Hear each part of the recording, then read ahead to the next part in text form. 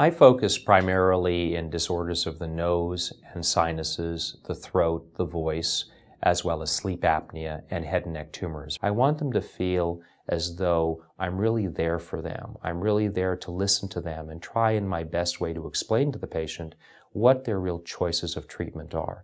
Not just one option of treatment, but what are the real choices available in this modern era of changing technologies. One of the important aspects of my career has been uh, challenging myself to find and develop new technologies as well as find and develop new techniques that are novel and improve patient experience.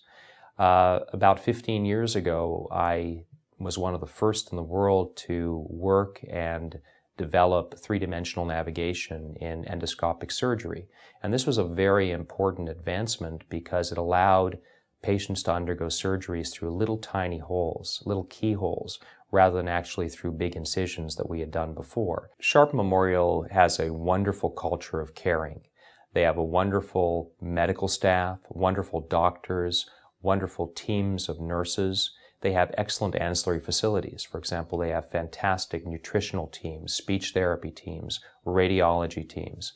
And those were very important in my initial decisions to come to the Sharp Memorial Hospital.